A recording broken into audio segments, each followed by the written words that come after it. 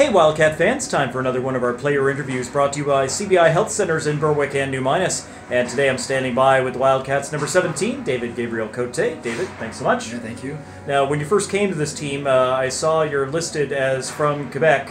I uh, wasn't sure whether that was David Gabriel Cote or just David Cote, but uh, clearly it's it's a little more anglicized. Yeah, for sure. Uh, depends how people always say it differently in the Maritimes and back home because it's not the same language, but whatever works. So.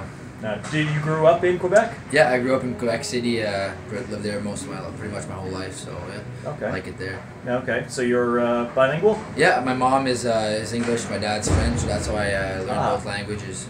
Okay, well that, that's cool. It's a nice skill to have. Yeah, my, it's, my it's, French is horrible, so yeah, it's, pra- it's pretty practical to have everywhere you go in Canada, so and stuff like that in the world. So like, yeah. I have that.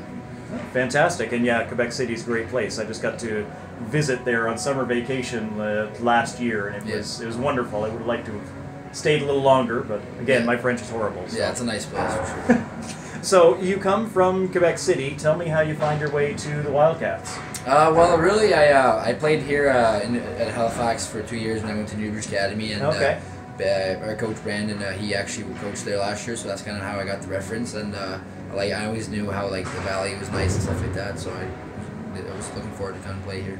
Okay, no, there's a lot of guys. Every it seems like every time I talk to someone, it's well, I was at Newbridge, and yeah. that seems to be how it goes. There's a lot of connections there. Yeah, there's a lot. I mean, there's a yeah, there's a big, pretty big school. We had like three or four hawk teams there, so a lot of players yeah. coming through there. So yeah, it's, uh, Had you played with anybody who's on the team now before? Yeah, uh, Matt Duggan. I played with him uh, for a year. He was my captain at Newbridge Academy two years ago. And uh, yeah, that's pretty much it for the team right now. But Dylan Matthews played Newbridge a year before I went there, so he was he was there as well. Yep.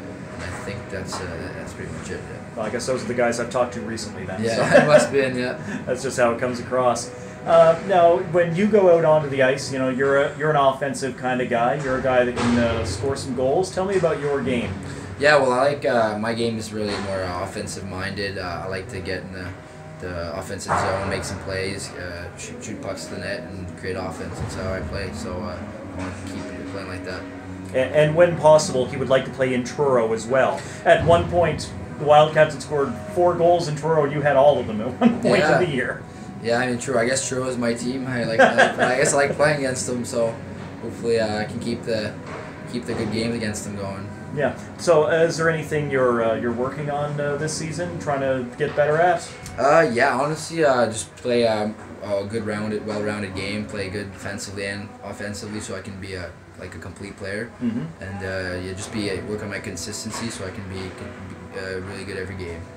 And finally, just a little bit more about you. I mean, I know you guys are, are hockey all the time, but uh, you know, what do you do when you're you're not at the rink? What do you like to do? Uh, well, I'm not if I'm at the rink. I mean, I'm uh, probably working, or uh, I like hanging out with my friends a lot. I like I'm a social person, and uh, I just like uh, like in the winter, I like skiing. I like winter sports a lot. So yeah, like uh, pretty much it, I guess. Very good. Yep. All right. Well, nothing but the best this season. Keep scoring those goals. Yep. Thank you very much. That's David Gabriel Cote, Valley Junior A Wildcats.